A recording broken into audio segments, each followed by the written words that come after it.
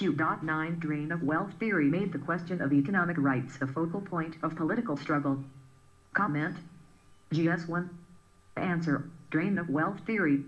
The nationalist leaders pointed out that a large part of India's capital and wealth was being transferred or drained to Britain in the form of salaries and pensions of British civil and military officials working in India, interest on loans taken by the Indian government, profits of British capitalists in India, and the home charges or expenses of the Indian government in Britain.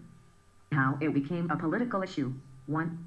The agitation on economic issues contributed to the undermining of the ideological hegemony of the alien rulers over Indian minds.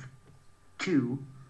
In the course of the economic agitation, nationalist leaders linked every important economic question with the politically subordinated status of the country.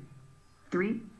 While until the end of the 19th century, Indian nationalists confined their political demands to a share in political power and control over the purse.